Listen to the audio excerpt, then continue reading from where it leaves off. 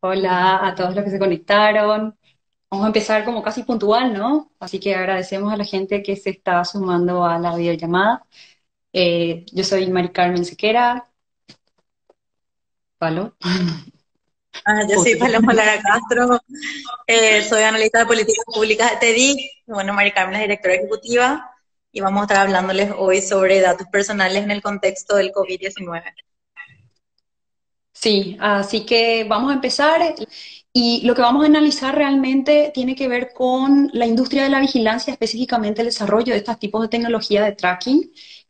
Y no vamos a hablar justamente, no vamos a, trabajar como segunda instancia lo que tenga que ver con aplicaciones de comunicación institucional, ¿verdad? No vamos a hablar tampoco de, las que hacen asistencia eh, económica, Así que la idea es cómo trabajar específicamente a estas herramientas que son bastante complejas y que eh, recolectan eh, y, realizan análisis y tratamiento de datos muy, muy sensibles. Así que, bien, quizás podríamos hacer como una pequeña introducción, ¿verdad?, que tenga que ver específicamente con el contexto, eh, que estamos a nivel global y a nivel nacional también, quizás porque también tenemos que, nos gustaría explicar un poco nuestra forma, porque como yo soy abogada, Paloma también, y, estamos muy interesadas en temas de políticas públicas, creemos de que este tipo de, de, discusiones tienen que tener una mirada muy integral, o sea, no solamente de derecho o no solamente de tecnosolucionista o tecnocentrista, sino que también que eh, entender de que la solución de la salud pública tiene que ver con un problema más sistémico que solamente un problema de una emergencia muy específica. Sí, también como estos, estos contextos también de repente nos ayudan a pensar un poco en qué herramientas se suelen proponer para solucionar un tema que en realidad, para empezar, no es solucionable por medios tecnológicos y por otro lado que de repente lo que pasa, lo que queremos o sea, lo que queremos advertir con estas cuestiones es que si se aplican herramientas tecnológicas sin un marco de derechos humanos que lo acompañe, que lo limite, que le, que le genere como, un, como una ruta a seguir, podemos encontrarnos ante posibles violaciones de derechos fundamentales de las personas. Claro, lo que sería interesante también, Palo, es conversar por qué eh, nosotras, abogadas también de derechos humanos, siempre decimos que es muy importante hablar de derechos humanos en un Estado de Derecho. Y creo que sería un buen momento de introducir, porque vamos a hablar mucho de derechos humanos y hay veces que dice, bueno, pero no todos los derechos son absolutos y en este estado de emergencia podríamos como violentar esto. Y hay mucha gente que dice, bueno, entonces dale, perfecto. ¿Qué, significa ceder esos derechos humanos justamente, inclusive en este estado bastante gris donde tiene mucha excepcionalidad el Estado? Claro, María, exactamente. Esas son las cuestiones que nos, planteamos de repente, que son eso que, decís vos, de repente en un contexto más blanco-negro es más fácil determinar, mira, acá si, por ejemplo, si no estamos en este contexto, yo estoy caminando por la calle, un policía me para y me empieza a revisar el celular sin una orden judicial, está más que claro que eso es en contrario a los derechos fundamentales de las personas. Y cuando hablamos de derechos humanos, tenemos que explicar también que esto es una cuestión de legislación internacional, pero también nacional. O sea, la legislación nacional, y perdón que esté hablando en términos un poco jurídicos y aburridos, pero de repente no podemos tanto evitar eso nosotras, eh, tiene que condecir, o sea, la, legislación nacional condice con ciertos parámetros de legislación internacional que se deben de cumplir. Entonces, en un contexto donde no estamos en una emergencia, es más fácil discernir esas cuestiones. Por ejemplo, el, ejemplo que le decía de estar caminando en un momento X de la vida y que la policía me pare y me revise el celular sin orden judicial. Pero ¿qué pasa cuando estamos en un contexto de emergencia nacional, de hecho con una ley de emergencia que implica, como decía Mari, que ciertos derechos a lo mejor están excepcionados de, ser cumplidos. Pero esto qué implica? O sea, si bien el derecho internacional sí permite que ciertas situaciones puedan ser pasibles de excepción y entonces por ende se puedan o no cumplir ciertas cuestiones durante ese tiempo limitado, de igual manera hay un montón de cuestiones que analizar. No es que al, al momento de sacar una ley de emergencia estamos dando carta libre a que se violenten derechos humanos en pos a una supuesta mejoría generalizada, como sería en este caso la salud, sino que cada cuestión que hagamos dentro de un estado de excepción tiene que responder a un principio de derechos humanos. Y generalmente hablamos de principio de proporcionalidad y razonabilidad y necesariedad. O sea, cada vez que aplicamos una política que podría restringir un derecho humano dentro de un contexto específico, tenemos que analizar si esa fue la única forma para poder llegar al objetivo que se propuso en, un comienzo y ese objetivo tiene que responder a una cuestión legítima también.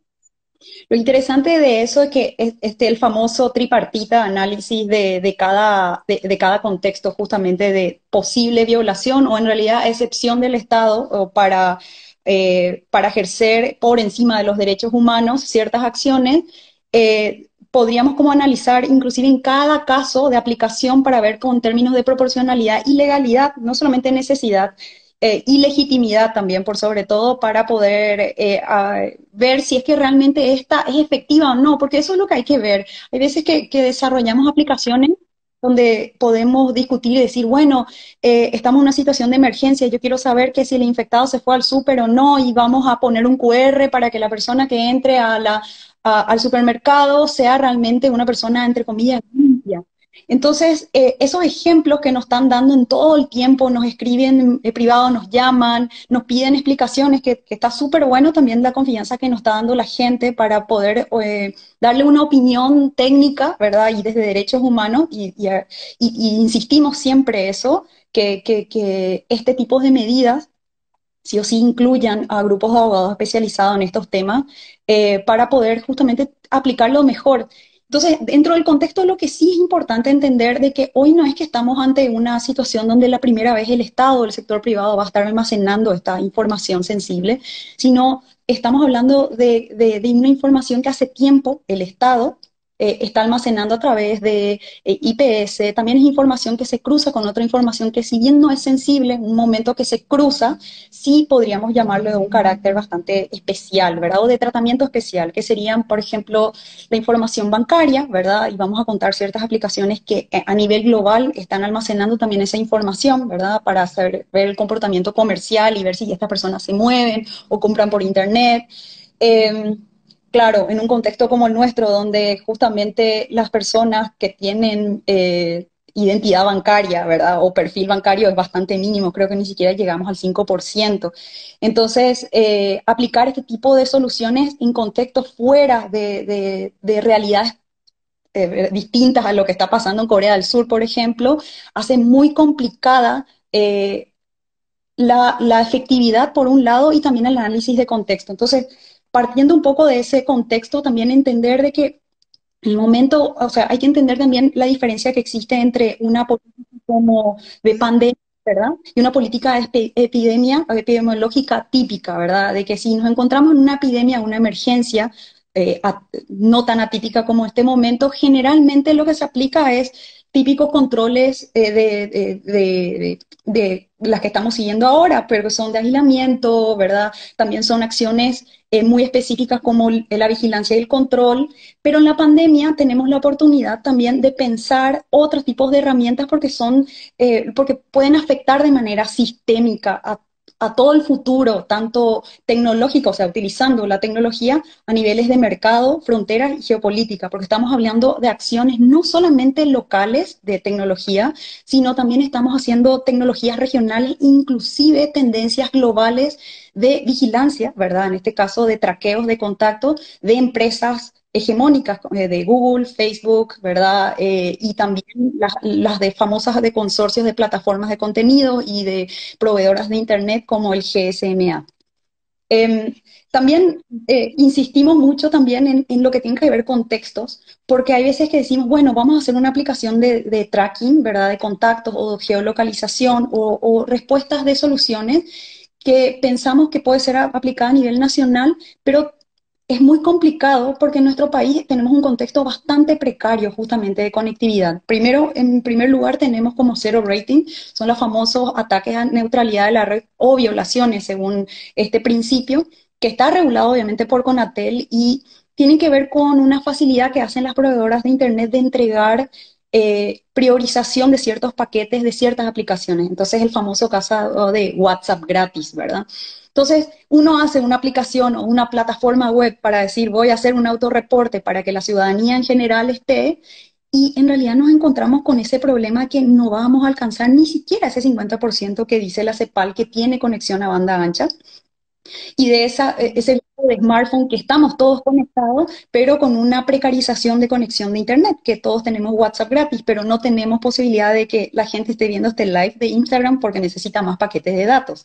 Entonces nos encontramos con ese problema también de que cuando aplicamos esto en contextos como eh, de precarios de infraestructura como países como el nuestro hace poco efectivo y hay una vigilancia inclusive desproporcionada porque le estamos diciendo a los que están en Central y Asunción, que probablemente tienen mayor conexión, estén dando información y el traqueo va a ser bastante riguroso, pero esto no se va a poder aplicar a nivel nacional. Entonces, también la efectividad de una plataforma, inclusive utilizando la vigilancia del Estado, hace que sea mucho más complicado todo.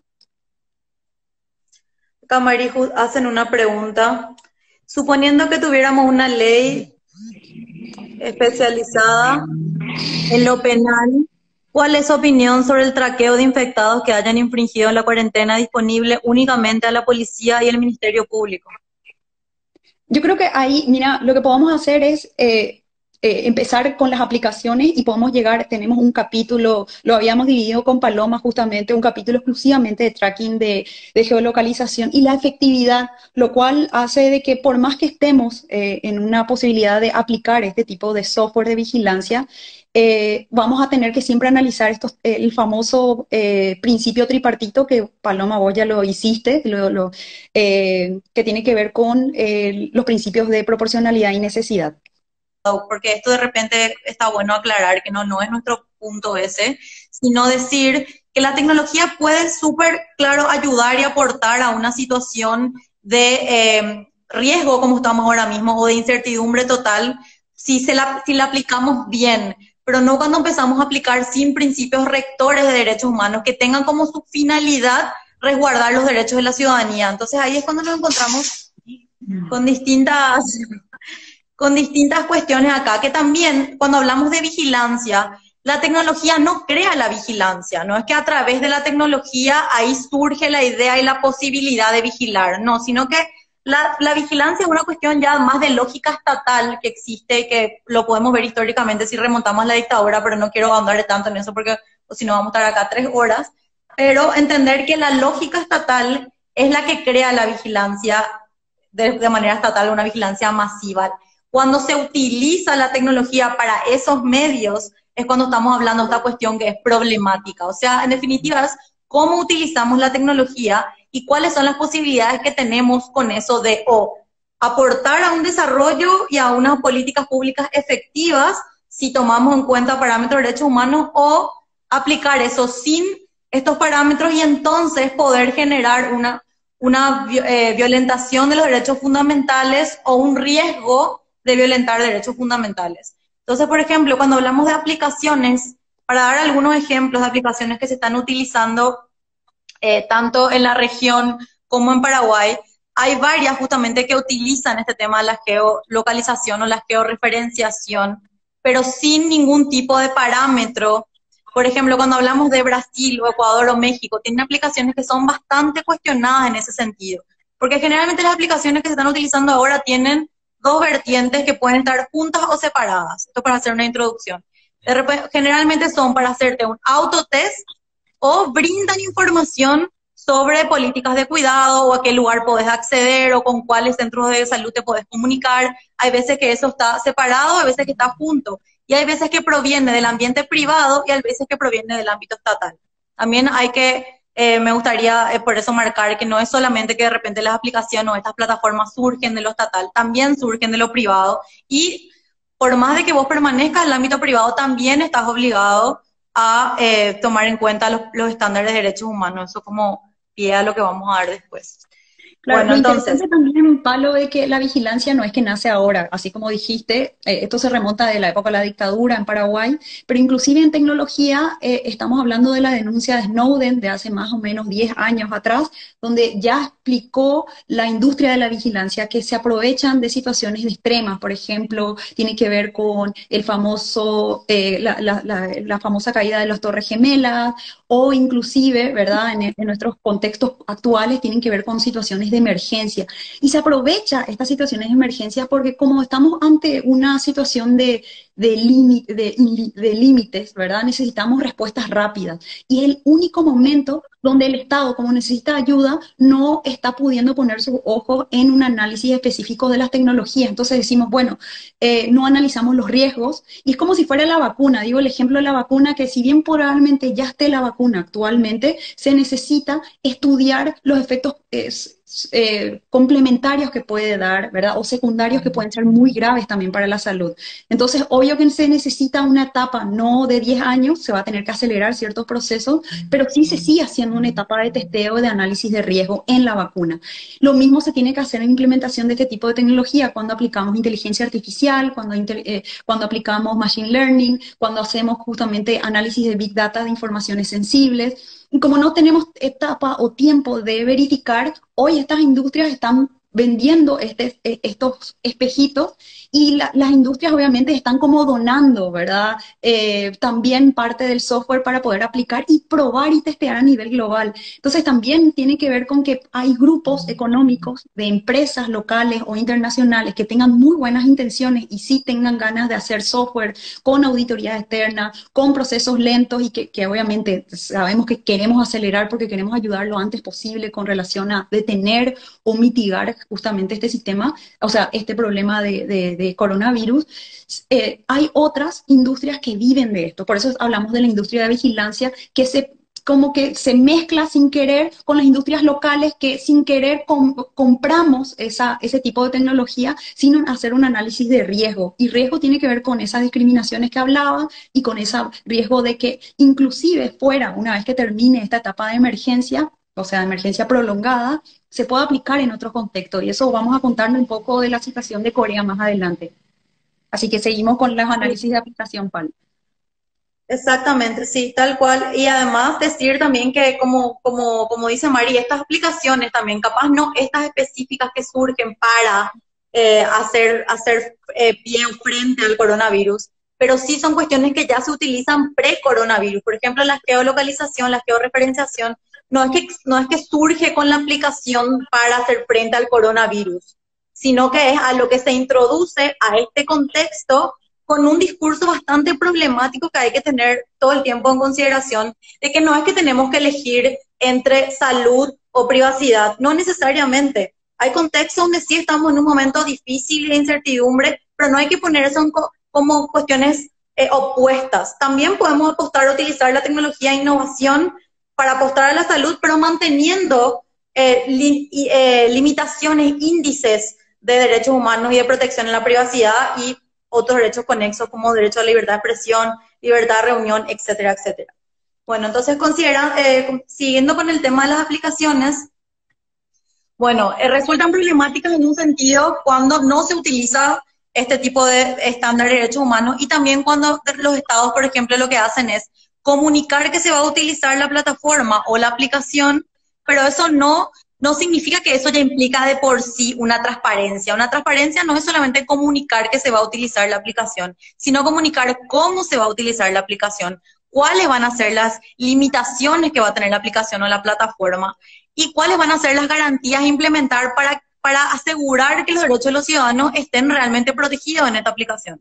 Entonces, Podemos señalar algunas que resultan problemáticas eh, en la región, como serían Ecuador, Brasil y México, que están utilizando georreferenciación o geolocalización a través sea de satélites o del celular, que como digo, entonces vuelvo a esto, el celular ya contiene la opción de GPS, no es que la aplicación crea la posibilidad de georreferenciar o geolocalizar, sino que la finalidad está puesta en un discurso que entonces lo que hace es que la ciudadanía acceda a esto sin saber a lo que está accediendo. Y eso es lo, problemático. Y que también lo que decía María al comienzo, preguntarnos si cada aplicación que estamos utilizando realmente va a contribuir o no a, una, a, solucionar el tema de la pandemia, que también hay que dejar de hablar en términos de solucionar, porque no hay una solución, sino justamente lo que nos permite ver esto es que tenemos un sistema de salud totalmente precario, que necesita de miles de otras bases de consolidación estatal que van mucho más allá incluso del Ministerio solamente de Salud, sino de la, cómo funciona el, Estado en general. Eh, volviendo a las aplicaciones, bueno, entonces, esas son las, las, cuestiones que consideramos problemáticas de las aplicaciones. Y para hablar específicamente de lo que está pasando en Paraguay, y en las aplicaciones o plataformas que se están hablando en Paraguay, ¿cuáles son las cuestiones que nosotras por lo menos estamos diciendo, che, tengamos un poco de cuidado con esto, o cuáles son las cosas que tenemos que tener en consideración si queremos crear una aplicación a futuro, incluso si tenemos las mejores intenciones.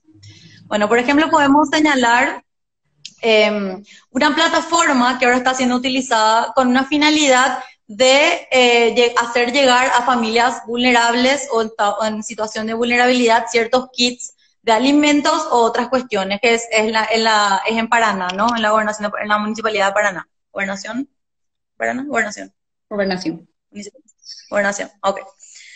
Bueno, em, entonces, ¿cómo funciona esto? O sea, ahí vemos entonces que podemos analizar que hay una buena intención atrás de eso, es decir, queremos hacer llegar a las familias vulnerables un kit de alimentación. Listo. Pero ¿cómo funciona esto? Hay una, es una plataforma donde entonces la gente que quiere acceder a eso tiene que completar un formulario, ¿no? Y esos, ese formulario va registrando entonces una cantidad de datos y para especificar nomás por cualquier cosa, los datos son cualquier cuestión que pueda hacer una persona identificar o identificable, o sea, que te identifique directamente o que luego de un análisis pueda identificarte, ¿verdad? Esos datos pertenecen a la persona, eso también cabe destacar, entonces, bueno, cuando se está poniendo esta información, hay ciertos datos que son datos personales generales y otros datos que son sensibles. ¿Cuál es la diferencia entre esto? Que los datos sensibles requieren una mayor protección justamente por su carácter de sensibilidad. Entonces, por ejemplo, si las personas que están llenando este formulario son personas que pertenecen a una comunidad en estado de vulnerabilidad, por eso es que están queriendo acceder a esto.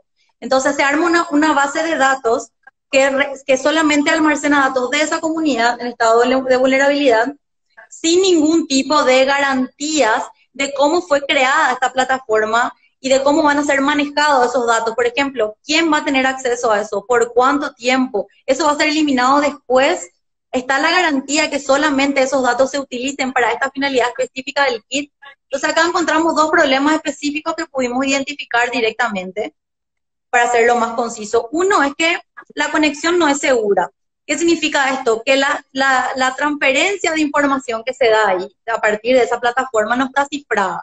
Entonces eso permite o puede llegar a permitir una vulneración a ese sistema y que haya una serie de fallas con eh, que se divulguen esos datos sensibles de estas personas en esta comunidad.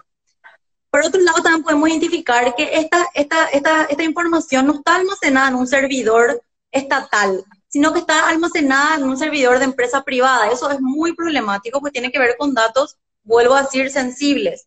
Entonces, ¿cuál es, ¿dónde está la garantía de que lo que estamos almacenando en esto, si bien tiene una intención positiva, por ejemplo, ponele o podemos decir, esto no, no porque la intención sea positiva, saca la obligación que se tiene de que si viene un, que un programa estatal, entonces el Estado debe de cumplir con estas indicaciones que estamos señalando. Acá Ray dice que también sería interesante que siempre los software que desarrolle el Estado sea de software libre, porque es mucho más fácil de hacer, eh, o sea, auditar justamente los software por, la, por el grupo técnico. Y quizás también esa pregunta es como, no, no sé si eh, también se podría hacer al sector privado que desarrolle aplicaciones también para eh, hacer los tracking o autorreportes, ¿no? Sí, totalmente, sí.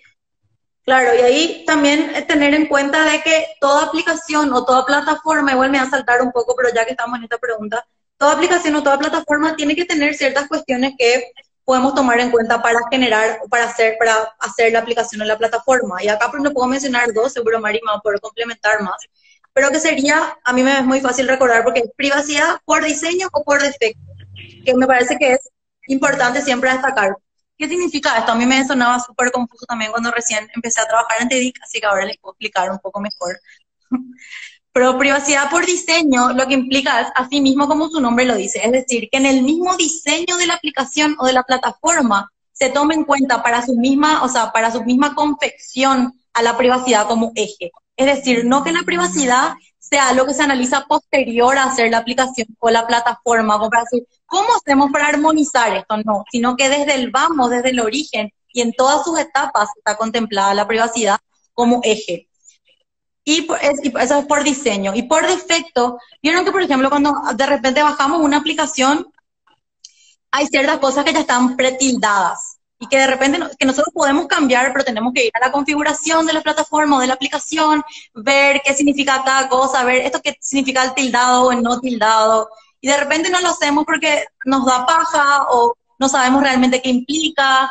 Entonces, por, por por defecto implica que ya automáticamente la aplicación esté configurada de manera que tu privacidad esté protegida desde el vamos. Vos después eso lo podés cambiar si te parece que querés compartir ciertos datos eh, con, la, con la aplicación, pero que por defecto, es decir, que automáticamente esté tildado ya como privacidad. Por ejemplo, no compartir, por ejemplo, si vos bajás una aplicación, que la aplicación ya automáticamente no permita que vos compartas tus fotos o tu lista de contactos con la aplicación.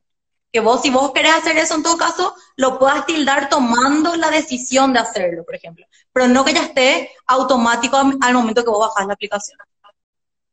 Después quizás creo que agregaría también el tiempo de, la utilización de herramientas de emergencia de almacenamiento de datos sensibles. Así que también es muy importante dejar en claro que en el momento que yo me instalo una aplicación como esta, tenga que saber hasta cuándo ellos van a almacenar y qué van a hacer con el tratamiento de datos y que me avisen o me notifiquen si van a utilizar para otra finalidad, ¿no?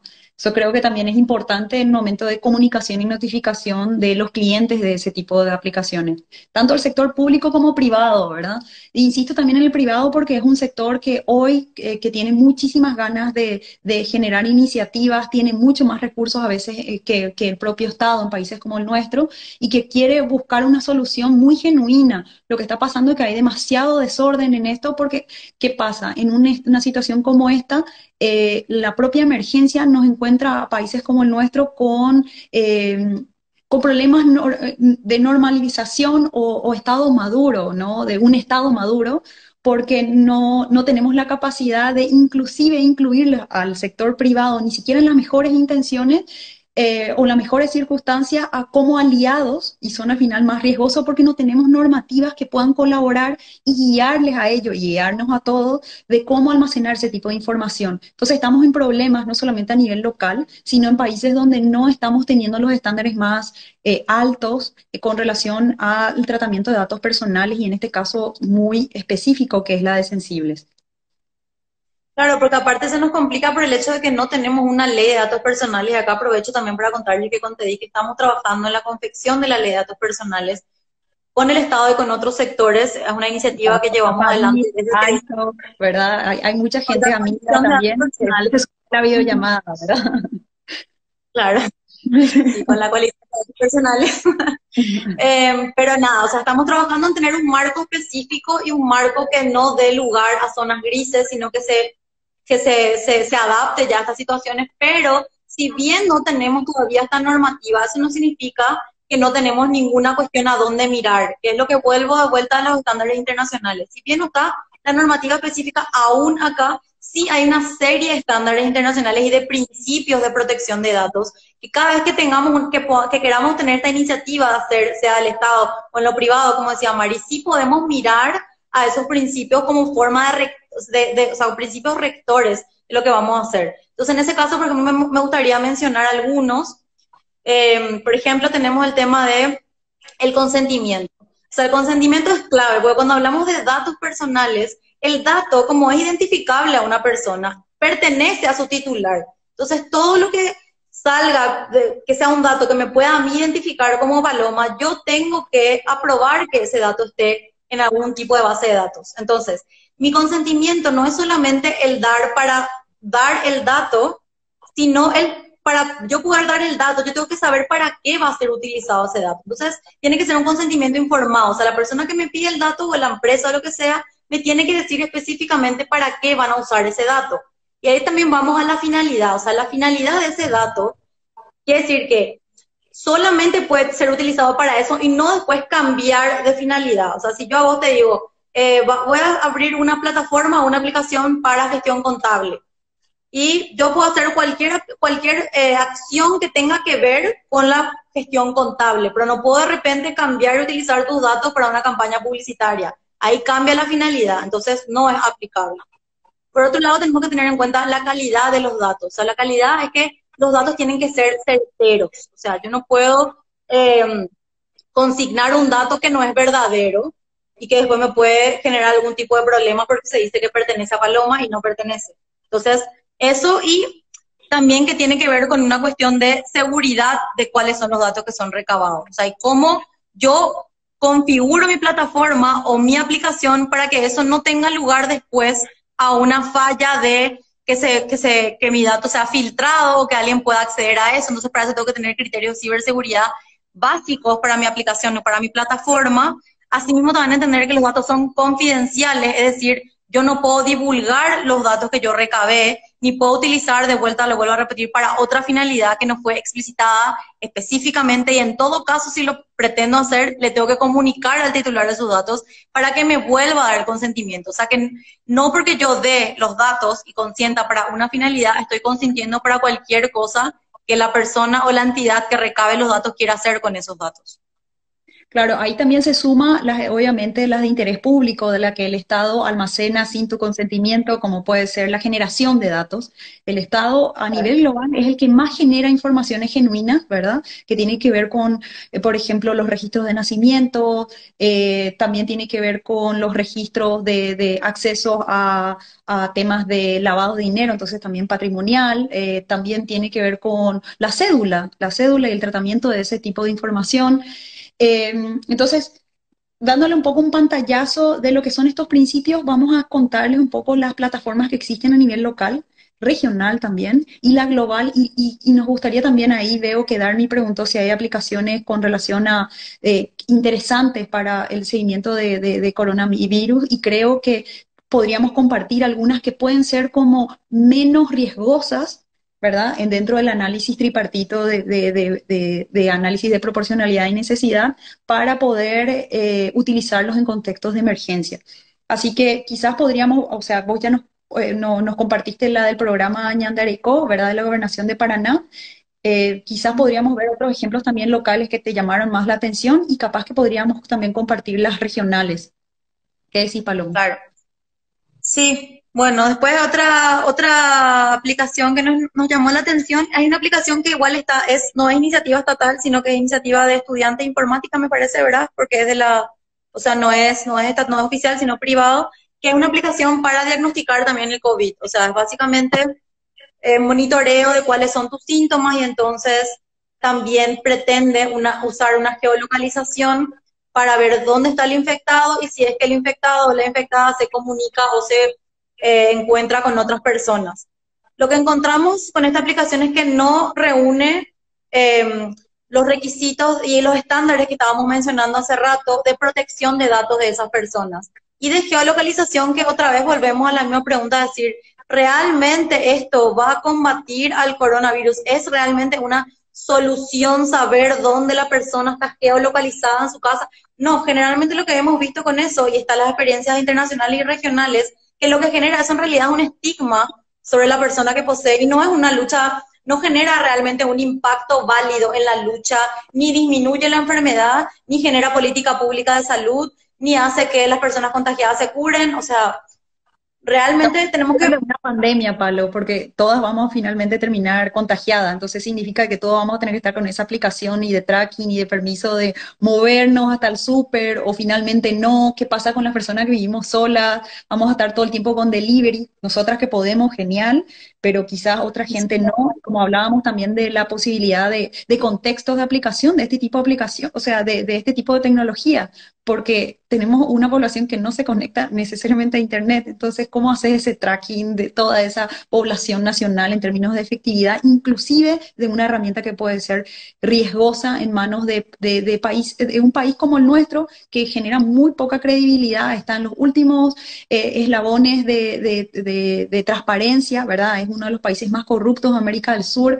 Entonces, inclusive en aplicaciones como, por ejemplo, que se pueden ver en Europa, o inclusive en Singapur, donde estamos hablando de un estado un poco más autoritario, la, la gente confía más en Europa eh, eh, tienen más apoyo popular aplicaciones de, de, vigilancia, pero porque confían en sus estados. En Singapur, por más que tenga la mejor tecnología y la mejor economía, solamente, según esta es una publicación que vimos que, eh, que Marcel Iseche me pasó hace unos días atrás, que solamente el 16% apoyaba la aplicación de esta, de esta tecnología. Significa que en un estado autoritario también es bastante cuestionada y por lo tanto no sabemos si hay efectividad o no.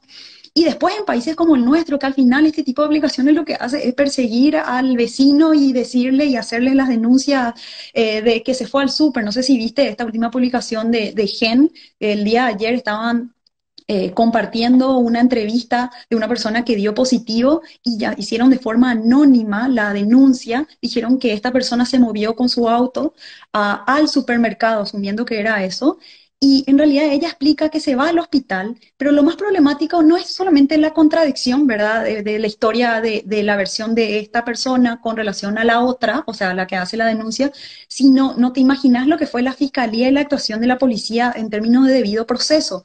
Le notifica, enfrenta a su casa, porque no le entrega el papel por todo el cuidado que necesita, pero lo notifica como si fuera al otro lado de la cuadra, como que con un altavoz más o menos la fiscala, y la policía tomando nota de un acto bastante fraudulento para poder eh, eh, almacenar, o sea, hacer esta acta. Eh, eh, poniendo, introduciendo el número de, de, chapa del auto, diciendo de que esta persona o sea, como suponiendo que este auto realmente se fue al supermercado y no al hospital, utilizando la, chapa del auto estacionado dentro de la casa. O sea, te estoy hablando de un acta bastante eh, cuestionado en términos de debido proceso y una aplicación de notificación de la fiscalía con relación a esto. Entonces, estamos persiguiendo situaciones donde la persona no tiene posibilidad de defenderse o cuando lo hace, vienen de una manera bastante violenta que hace que todo el barrio y toda la cuadra se entere de que esta persona es el que está dando eh, un caso confirmado. Entonces, es, estamos hablando de que este tipo de aplicaciones que pueden publicarse eh, dentro de lo que es datos abiertos en estados de, en estados eh, de, bienestar, en estados donde justamente funcionan la utilización de estos datos para políticas públicas o para menos para tener un dato parcial con relación a cómo se mueve este virus a nivel geo, o sea, geolocalizado. Acá estamos eh, recibiendo solamente tipos de denuncias de scratches público, persecución, y como decía el, el, Ministerio de Salud Pública, estamos hablando de un problema ético y de estigmatización. Así que sí, estamos hablando de problemas bastante graves con relación al tracking.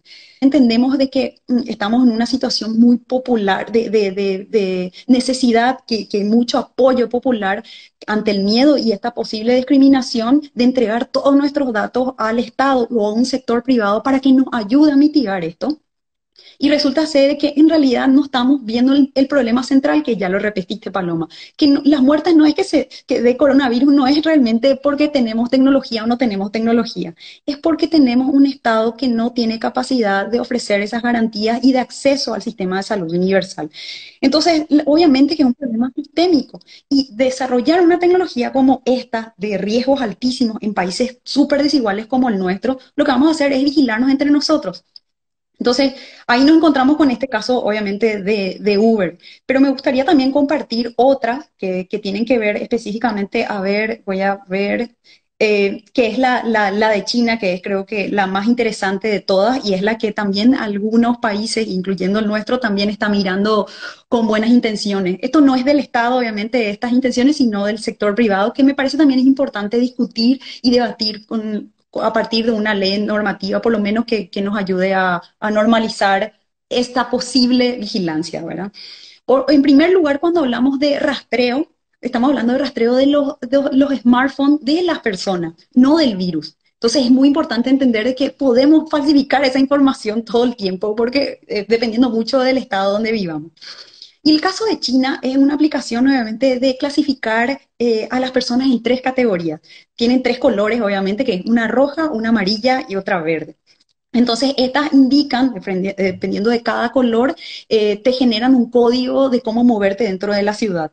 Y al mismo tiempo eh, hacen un cruzamiento de información de los servicios comerciales, ¿verdad? Y financieros. Y lo más interesante es que la última publicación, obviamente, de, de, Guardian, no, perdón, la de New York Times, que justamente decían de que el smart, o sea, perdón, el software que fue evaluado por un grupo de auditores internacionales encontraron sospechas de que se podía entrar por los, famosos backdoors, que son las puertas traseras de los software, que uno puede extraer la información que está almacenando y podemos usar para lo que sea, porque estamos hablando también de un mercado negro que genera eh, eh, mucho, mucho dinero a partir del tratamiento de datos eh, personales para vender y utilizar de otra manera, ¿verdad? Eh, el otro caso también interesante que me gustaría compartir es la de Corea del Sur. Esta tiene que ver con el tratamiento también de geolocalización de las personas y es muy importante entender que este software, eh, repitiendo un poco lo que decía, no es la primera vez que Corea del Sur utiliza. Esta es como la tercera más o menos. Imagínate, hoy estamos en pandemia, pero ellos ya estaban utilizando para otras eh, alertas y que al final comentaron de que este tipo de alertas ya se estaban utilizando fuera de los contextos de alerta en Corea del Sur. Estamos hablando de un estado que también es bastante interesante, ¿verdad? En términos de tecnología, son justamente ahí están el famoso Gran del Este, ¿verdad? Que, que con China compiten en desarrollo de tecnología. Y lo interesante también de esta aplicación que demostraron de que también prenden las cámaras de seguridad de los celulares y de, las, de, donde estén instaladas estas aplicaciones. Y también tiene un acceso al historial de compras por tarjeta de crédito. No sé si eso es muy relevante al final, si vos decís, quiero hacer una persecución de coronavirus, pero uno dice, bueno, quiero saber cuánto está gastando, qué tiene que ver eso, ¿verdad? Por otro lado, estaba hablando, eh, que es lo que recién cité, que es el caso del GSMA, que es la coalición, ¿verdad?, de, las plataformas de contenido, donde eh, están explorando, esa fue la comunicación de hoy, del sistema global de intercambio de datos para rastrear los datos de las personas de todo el mundo y colaborar con cada uno de los estados para evitar la propagación, ¿verdad? Y esto se suma, obviamente, la, la, última de Facebook, que esto fue también esta semana, que se suma con lo de Google, que la semana pasada publicaron, que tiene que ver con los esfuerzos, ¿verdad?, de, mitigar también este, este gran contagio o propagación de, de, esta enfermedad, es el tracking de personas, es el famoso mapas de prevención de enfermedades, se llama el, el proyecto.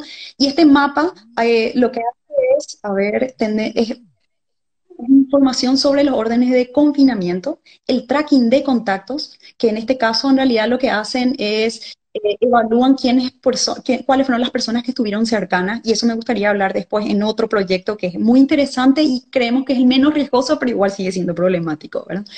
Eh, datos de conexión que son famosas entre ciudades o entre regiones. Entonces, eh, se suma a Google y estas dos, que también facilitarían información, dice que son informaciones genéricas y no identificables, o sea, significa que son anónimas.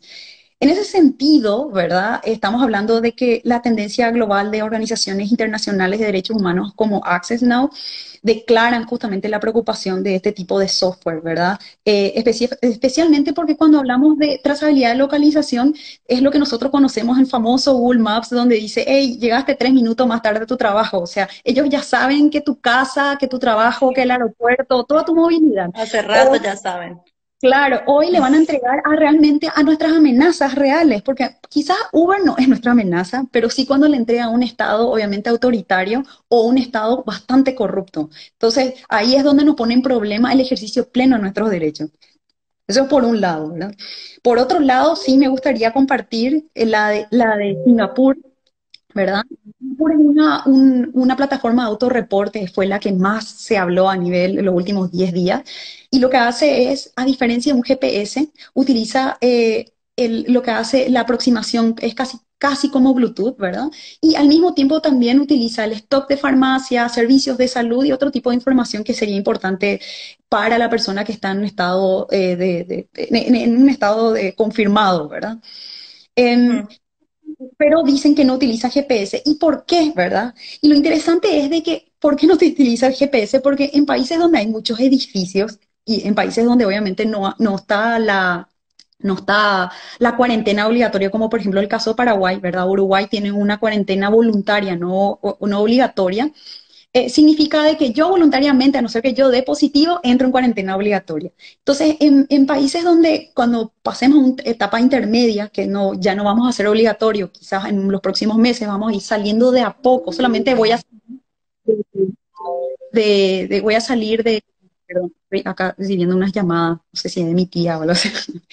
Em, lo que pasa es de que justamente eh, en países donde hay edificios, el GPS lo que va a pasar, lo que suele pasar es que dicen que todas estas personas están con aglomeración, ¿verdad? Eh, entonces, em, creo que ya estamos llegando a las una hora. Acá me dicen que a 20 segundos. Podemos hacer. Por decir. Hay un montón de preguntas. A mí me encanta el libro, justamente, es su voz, que es la que justamente eh, tenemos en la oficina y está pendiente leer ese libraco. Eh, si quieren, podemos volver a hacer la llamada antes que se corte. Voy a finalizar.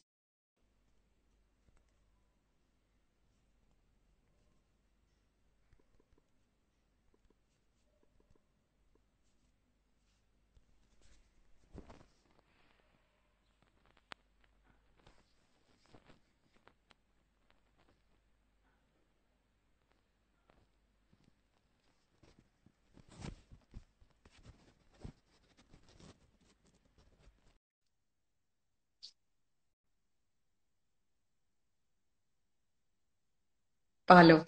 Qué pena, ahora empezamos con ocho personas, estábamos casi 30 ya, pero bueno, como somos tantos, tenemos que agradecer a la gente que está aprendiendo un poco de derecho. Pero contarles un poco entonces en, qué parte, en los edificios. Entonces, el caso de Singapur, lo interesante también tiene que ver con que ellos no decidieron usar GPS o geolocalización de, de los celulares porque el problema de ellos era de que como uno ve un mapa, es un mapa plano, uno no ve tridimensional. Entonces, en lugares como ciudades que son más verticales, ¿verdad? Lo que pasaba era que la persona tenía que poner en, cuarentena obligatoria a todo un edificio porque una persona estaba ahí. Y como no se puede ver, parece como una aglomeración de un montón de personas. Y en realidad, tu, tu efectividad es, es, problemática en términos económicos y políticos también. Entonces, lo que hicieron fue de que vamos solamente eh, a geolocalizar las personas que se crucen muy cercanas a esta persona y no es entonces geolocalización de GPS, sino usan Bluetooth y otro tipo de cercanía, ¿verdad? Eh, FNC o lo que fuera, para ver que entonces las personas que se cruzaron en el ascensor con esta persona son las que van a tener que entrar en cuarentena obligatoria y no todo un edificio de 200 personas. Em, entonces ellos decían, no es efectivo el GPS porque mi rango de error es altísimo, incluyendo en países como el nuestro, donde el rango de error eh, es mínimo en términos, eh, y son, es una ciudad mucho más horizontal, la gente tiene una casa con patio, o por lo menos viven dos personas nada más, no hay casi edificios, sigue siendo un problema de efectividad, ¿verdad?, de aplicación de, geolocalización. Entonces, hay una publicación muy interesante que recomiendo que, vean, si pueden buscarlo, que es la de Center for International Government Innovation, que, lo que hablan de que este de China, Corea del Sur y Singapur, que permite generar un mapeo de población en tiempo real, porque es muy importante, es el tiempo real que uno está teniendo información, no garantiza que toda esa información realmente ayude a la predicción de la pandemia, o sea, no hay pruebas. O sea, eso es lo más claro. Y yo creo que, que, más o menos terminando ahí, ¿verdad? O sea, teniendo en cuenta que, claro, el sistema de salud está, se está acercando, ¿verdad? A esa capacidad máxima de tratamiento del, del COVID, de, de, esta enfermedad, hay que tener demasiada precaución de no utilizar este tipo de información pseudocientista, porque no estamos hablando de gente confirmada con el testeo y médico, ¿verdad? Estamos hablando de gente que estamos suponiendo nada más y le ponemos en cuarentena eh, y tecnosolucionista, y que obviamente lo que hacemos es problema de, de modelización efectiva de la pandemia en términos sociológicos. Digo, ¿cómo me, me sirve una muestra? ¿Cuándo es una muestra parcial? ¿Y cuándo realmente me sirve como política pública? Entonces lo que hacemos más es confundir al Ministerio de Salud y a todas las personas con relación a esta información. O sea, es demasiado relevante o poco efectivo. Y bien, volviendo al, problema más importante, ¿verdad? Estamos hablando de que estas miradas distorsionadas, ¿verdad? De interpretación de, de ante toda esta eh, esta preocupación, este miedo que todos estamos teniendo desemboca generalmente en estas medidas de vigilancia, ¿verdad? Y control social. Y porque creo que lo que es importante, Paloma, también, remarcar que cuando hablamos de qué van a estar en juego, no necesariamente va a estar en juego solo el derecho a la privacidad, sino también entender el control social que, está, eh, que se está implementando y se va a implementar en este momento y fuera de este momento. Esto va a generar una respuesta presente y también una mirada a un resultado futuro que si no tenemos en cuenta puede ser muy, muy problemático. Pero también entre nosotros mismos, o sea, eso también es problemático.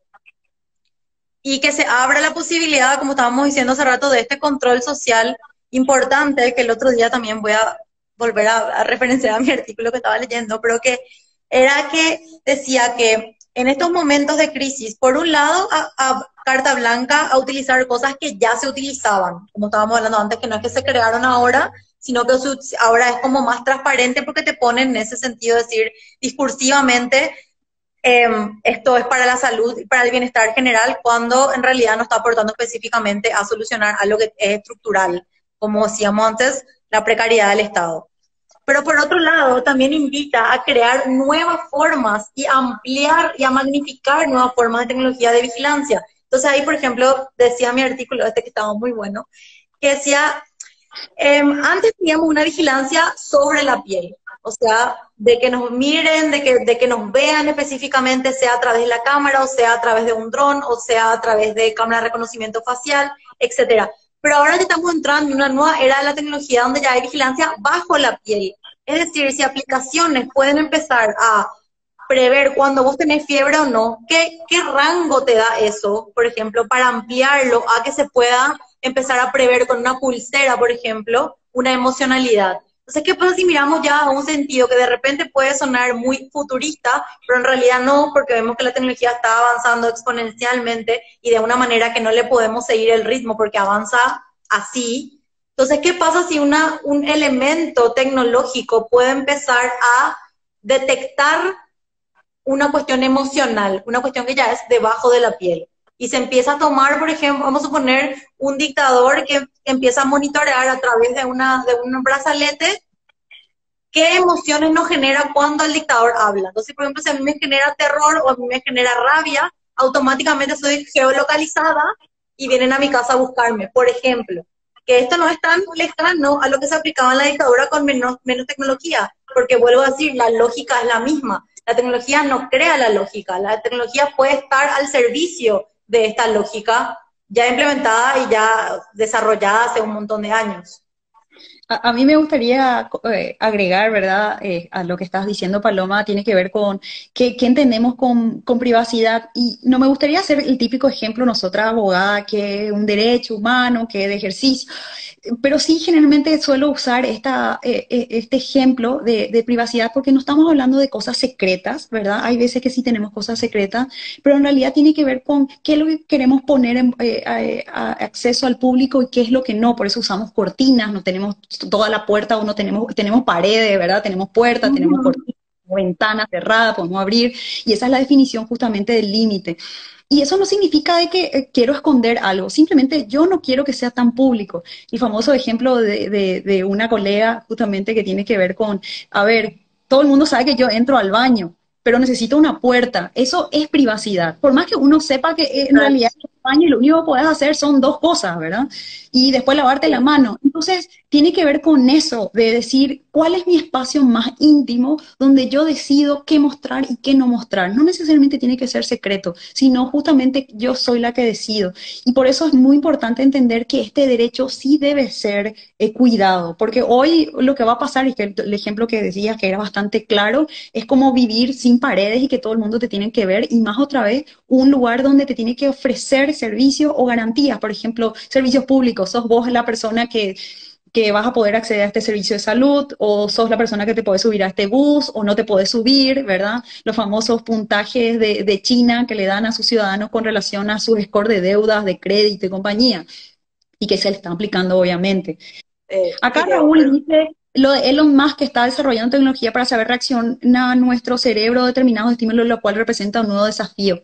Sí, inteligencia artificial es todo un desafío, pero como no hay testeos todavía, ¿verdad? Una etapa de testeo, no se pueden analizar los riesgos que están en juego. Entonces, hoy mismo no tenemos ninguna garantía de que eso funcione. Y los propios programadores informáticos, ¿verdad? De, software eh, tan complejos como esto, ellos mismos no te pueden garantizar que el software que ellos desarrollaron, como van a, van a desarrollar su propia inteligencia, no saben qué resultados va a generar posteriormente a lo que uno dentro del algoritmo desarrolla. Pero, por ejemplo, yo digo, voy a desarrollar que uno más uno sea dos, ¿verdad? Ahí tenés todo controlado, inclusive la línea algorítmica o desarrollo de software, el código, ¿no? Pero ¿qué pasa es cuando yo le digo uno más uno más dos, pero después hacer lo que quiera, ni yo tengo control de hacer eso? Entonces los propios programadores no pueden garantizar que ciertos derechos sean aplicados y, ejercidos plenamente. Por lo tanto, se sigue estando en una etapa de, análisis y que esa inteligencia artificial se aplique en eh, automatización de procesos que no estén implicados el ejercicio pleno de los derechos, sino, qué sé yo, procesamiento de pasar a plataformas automatizadas, pero no de sentimientos como el ejemplo que estaba haciendo Raúl con el caso de Elon Musk. Me gustaría compartir, para ir cerrando, los artículos que vamos a estar lanzando. Hoy lanzamos justamente todo lo que tenga que ver con este análisis de, estas aplicaciones a nivel regional eh, y a nivel local, por sobre todo también, para que nos sirva un poco cierto análisis en base a los principios, porque creemos que esas aplicaciones necesariamente tengan que tener esos principios, no es que estamos en contra del almacenamiento, sino decimos qué cosas tiene que tener eh, esta plataforma, o sea, tiene que ser un poco más responsable, menos cachafadas, porque también tenemos que ser muy competitivos, ¿no? O sea, no puede ser que la aplicación de Paraguay otra vez no cumpla ningún estándar, entonces no se puede ni siquiera usar en otros países, o sea, o sea siendo un poco más franca, ¿no? Eh, y por otro lado, también tiene que ver con eh, la, la, aplicación, o sea, no solamente esos estándares, sino la, la otra etapa de la, publicación tiene que ver con los drones, ¿verdad? Ya los drones que ya se compraron el año pasado, que se piensan eh, plantear justamente para hacer la persecución en, en, la etapa de cuarentena, están pidiendo donaciones hace semanas atrás, no sé si fue mucho show, pero sí es importante también analizar la efectividad de este tipo de, de, de, de justamente de software de control remoto, ¿no? Eh, Así que yo creo que estamos por ahí. tener un pensamiento crítico, Mari. Eso también queremos dejarle a la. No es que le estamos diciendo, ah, ahora huyan todos, la vigilancia. No, es solamente em, empezar a ejercitar un pensamiento crítico sobre estas cuestiones. O sea, cuando algo se empieza a implementar, no solamente aceptarlo así sin más, sino empezar a decir, che, espera, ¿esto realmente sirve? ¿Cómo está siendo hecho y para qué se va a utilizar? ¿Y esto realmente rige ahora nomás? Estaba desde antes, se puede utilizar más después de esta pandemia, eso, eso es como tener ciertas cuestiones que además, o sea, son solamente principios rectores que tienen que ver con la seguridad de los derechos de todas las personas, no solamente de quienes estamos hablando, sino también entendiendo que somos todos y por otro lado también entender que siempre hay una diferenciación como lo hubo en todo momento en comunidades que están en situación de vulnerabilidad y que no. Y que esos sesgos también implican una mayor vulnerabilización que también tenemos que tener en cuenta. Y que la base de un Estado democrático es la transparencia, la rendición de cuentas y la posibilidad de generar un pensamiento crítico. Sí, por sobre todo un Estado que nos dé la posibilidad de una participación ciudadana y ese pensamiento crítico tiene que estar acompañado de gente que, que esté justamente alertando por un lado, pero también acompañando, ¿no? O sea, nos, eh, ahí es donde decimos que hay un equilibrio y podemos decir, podemos confiar en el Estado porque también tenemos organizaciones que nos están alertando y que si hicieron bien después de estas alertas, Obvio que te voy a dar mis datos personales, específicamente del sistema de salud también, siempre y cuando vos me des todas esas garantías, pero hoy no hay.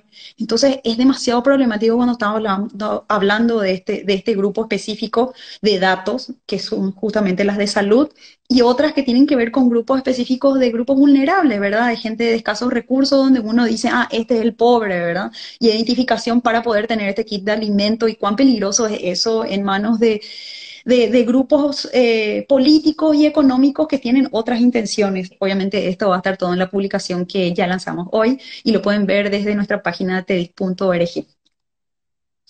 Sí, así que bueno, léannos, esperamos que haya sido esto útil y que haya podido generar por lo menos algún tipo de debate, sea interno o que hablen también esto con sus amigos. Está bueno también que en este momento de la pandemia empecemos también a tomar este tiempo de más estar en la casa como un momento para reflexionar, para poder pensarnos a nosotros y también para nuestra relación con el Estado y cómo el Estado está manejando esta pandemia eh, y cuáles son sus fines. bueno. Bueno, nos vemos, ¿verdad? Y muchas gracias a todos, a todos, a todas, y, y, nos vemos en un próximo webinar, ¿eh? Así que estamos atentas a las preguntas que se pueden dar tanto dentro del blog como también se dieron aquí y en las redes sociales, así que seguimos conversando. Chao. Sí, chao, chao a todos. Chao, chao, chao